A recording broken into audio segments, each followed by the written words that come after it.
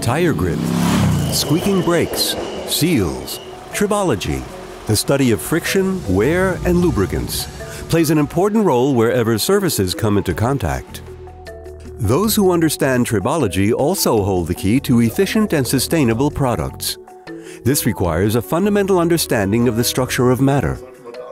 So Freudenberg set out to use a special procedure to understand the behavior of materials more accurately than ever before. Atomistic simulations allow for virtual insight into the microscopic movements and interactions of atoms. Questions can then be answered such as which material pairings can slide very efficiently, making high-tech seals possible. By using the atomistic simulation, we understood what's really happening in the tribological contact.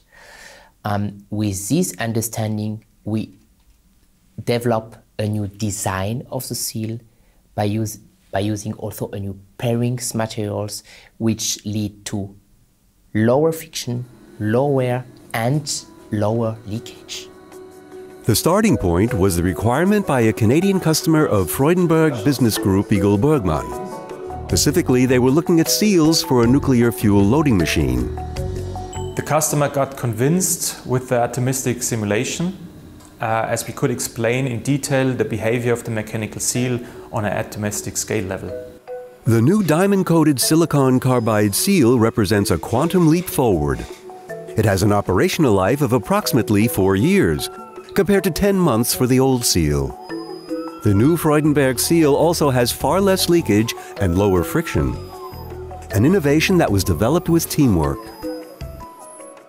Within this project, EagleBurgmann, FST, Klüber, FTI work together with Fraunhofer Institute on this new technology, atomistic simulation. Freudenberg also decided to develop a broader fundamental understanding of simulation techniques to create tailor-made solutions for future tribological challenges. The first stage of this journey is over.